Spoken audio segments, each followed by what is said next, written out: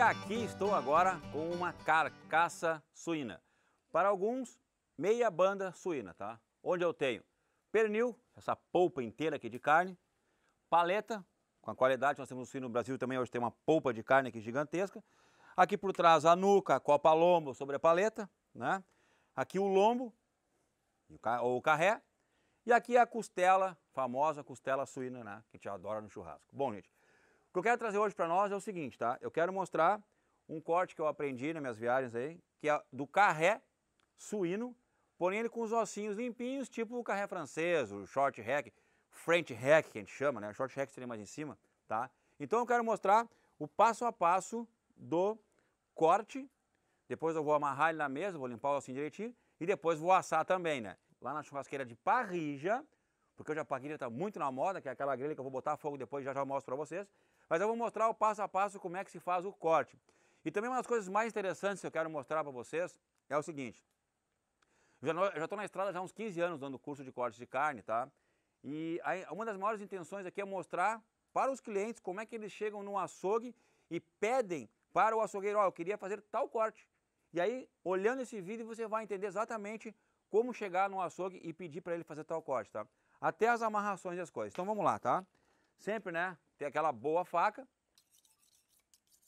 Faca boa não precisa cheirar muito, é só alinhar o fio. Vamos lá, vou pegar aqui na parte de cima, ó, onde tem essa, essa parte gordinha aqui do pernil e vou fazer um cortezinho. Ó, eu vou abrindo, tirando um pouquinho do couro junto e vou abrindo, para começar a aparecer. Aqui já aparece um corte que eu gosto muito de fazer na minha casa também, que eu vou fazer num futuro vídeo, tá? Que é a fraldinha suína, mas não é ela agora, tá? Então vou passar a faca, ó, passa a faca lá dentro e passo forte, ó. E a carne vai caindo. Gravidade, né? Então, ó, vai caindo e ela vai trancar no primeiro osso. O primeiro osso de costela está aqui. Daqui para cá, que eu quero fazer o French hack suíno, tá?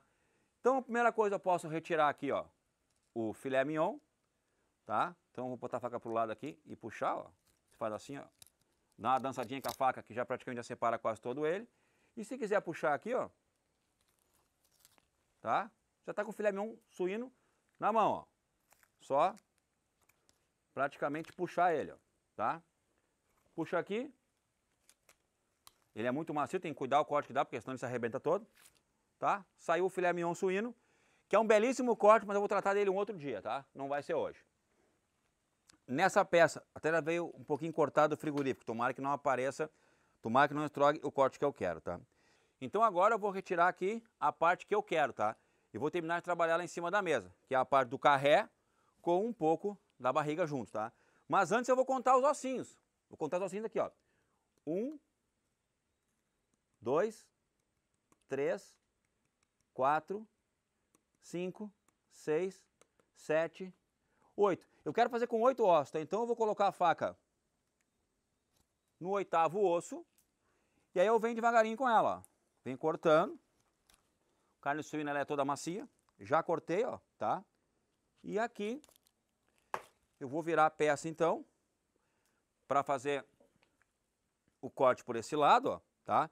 E tem que cuidar porque a peça vai cair muito fácil, a peça vai cair bem rápido, tá? Então eu vou segurar a peça aqui, tá? E vou cortar, ó.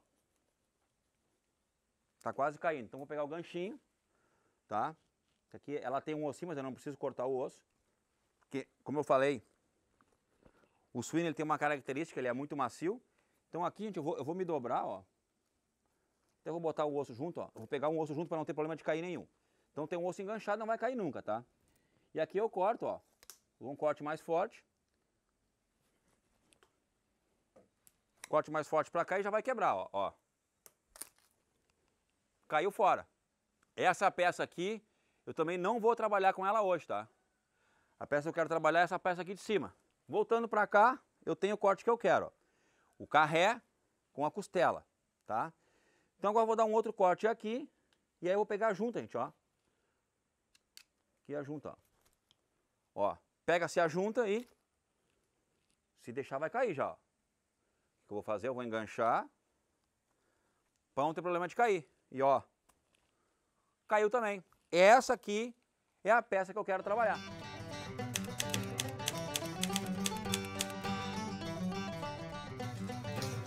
Depois de ter tirado esta peça da carcaça suína, e aqui na mesa da costela com carré, eu tenho só o carrezinho e um pedaço da costela aqui. Eu quero fazer o prime rib suíno. Depois assar por local corinho, deixar isso aqui maravilhoso. Em primeiro lugar, vamos tirar então as bananinhas e a parte da costela. Então eu vou fazer o seguinte, ó. Lombinho terminou aqui, vou deixar um pouco de bananinha, vou botar aqui, ó. Já vem furando assim, ó, pra separar a costela e a bananinha do osso. Já vou pro outro lado, já marco aqui, ó, onde eu quero tirar, ó. Ó, marquei o corinho. Vou lá pro outro lado agora. Está marcado aqui, eu já vou fazer isso aqui já, ó. Viro a faca, já está marcado. Bom, eu tenho a marcação aqui e aqui. Então agora eu vou fazer o seguinte, ó. Vou marcar um pouquinho fininho em cima do couro, só para deixar marcadinho, tá? Aqui a faca tem que estar afiada. Então, ó, vou segurar aí. Fiz um corte longo. Agora eu vou tirar esse pedacinho que alguns chamam até de barriga. Então a faca bate no osso e ó, rapa bem em cima da costela. Ó, está saindo. Ó, está saindo, ó. Tá? Agora eu vou finalizar. Faca bate em cima do osso, ó. Vai finalizando. Vai finalizando, ó, e retira um pedacinho da costela sem osso. E agora eu fico com essa outra parte, que é o carré com os pedacinhos da costela. E eu quero limpar esse osso aqui para ficar aquele carrezinho francês. Então vamos preparar ele agora. Vou medir aqui onde eu quero tirar, ó. E a faca faz isso aqui, ó. Porque eu quero tirar as bananinhas depois, ó. Então faço isso aqui de novo, ó. Só para marcar aquilo que eu fiz por trás. Agora eu faço pela frente, ó. Marcando tudo isso, que normalmente a gente faz. A gente tira bananinha a bananinha, mais ou menos dessa forma que eu estou fazendo aqui, ó. Porém, o ossinho fica bem sujinho, depois tem que estar limpando um a um.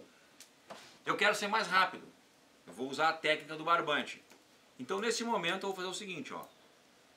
Eu vou pegar bem no miolo da bananinha ó, e vou cortar bem ao meio. Já tirei duas bananinhas desse osso. Olha como é simples depois de marcar o ossinho, tá? E sempre é interessante um porquinho bem gordinho, tá? Esse aqui não está tão gordinho como eu gostaria, mas mais gordinho seria melhor. Hoje os suínos são, são muita carne, né? Genética e tal. Então eu vou, ó, espichar, tá? E estico o barbante e puxo a carne. Desta forma. O ossinho fica limpinho. Vamos de novo?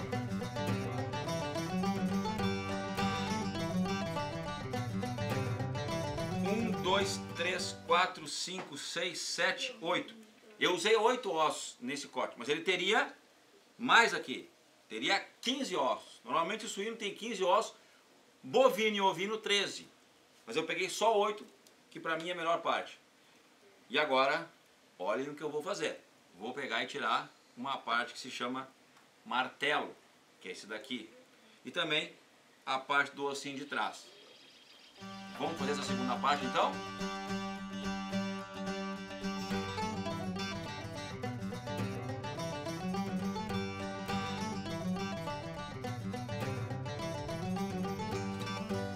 Sem carne, zero carne, tá?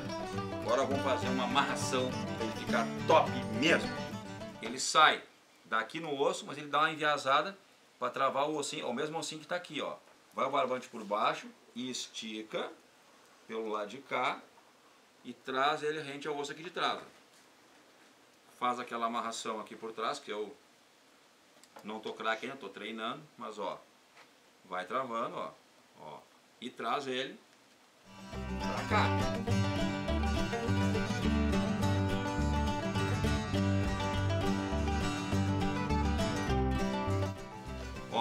Sempre tentando deixar o nozinho um mais pertinho do outro.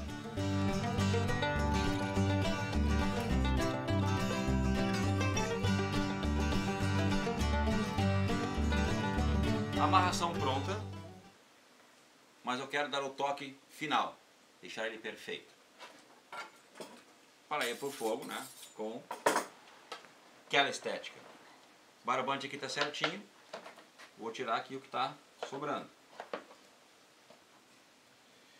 Nesse outro lado também, ó, o último ossinho, ó, o ossinho tá caindo fora, então eu não quero ele aqui. Já sobrou, ó, sobrou um prime rib bem fininho, tá? Agora sim, meus amigos, ó. Pronto. Vamos lá? Então aquele sal, eu tenho usado só o sal parrilheiro, mesmo para suíno, aquela maneira bem simples. Notem um pouquinho a dificuldade desse corte, porque eu tenho um lado mais fino e um lado mais grosso.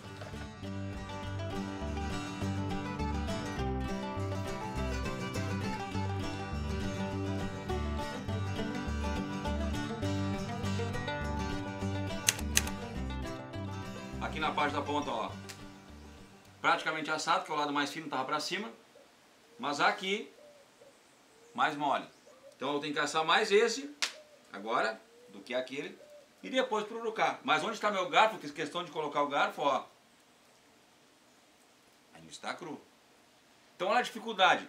Eu tenho que assar esse pedaço aqui e também assar essa parte. E depois urucá, tá? O que, que eu vou fazer agora? Eu vou colocar assim no forno lá.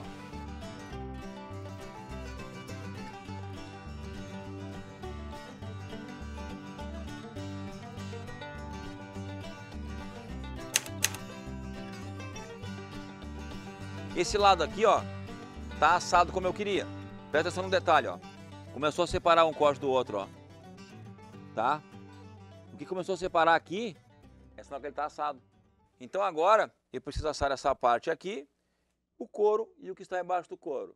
Como a minha churrasqueira de parrija, ela é bem forte, se eu vacilar, eu vou usar uma outra técnica. Eu vou transformar ela agora numa churrasqueira de grelha normal. Agora aqui, bem encostadinho aqui, é onde vai ficar esta peça para terminar de assar. Colocando aqui, pessoal, o, o, o, corte tá, tá bamba, ó. Então vou pegar um pedacinho de lenha e vou colocar no couro, ó, para pururucar aquele canto. E depois, lado de cá, calcei com uma lenha e roda o relógio para ver quanto tempo vai pururucar colhendo aquela parte ali, tá bom?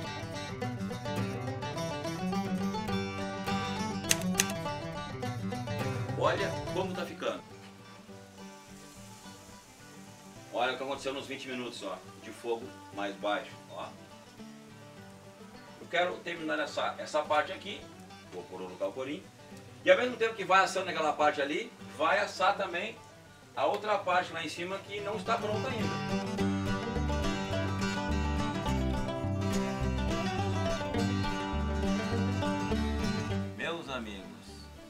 Quase pronto. Cuidando para não queimar e canto. Espera mais um pouquinho que eu vou dar o tempo todo que eu usei para deixar essa maravilha um pouco mais bonita.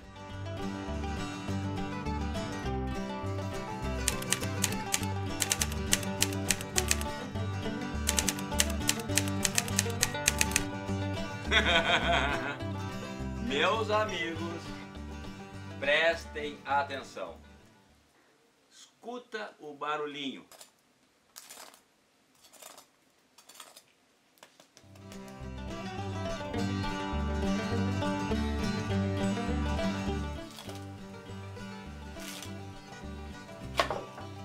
A dica é, quer aprender a fazer esse corte?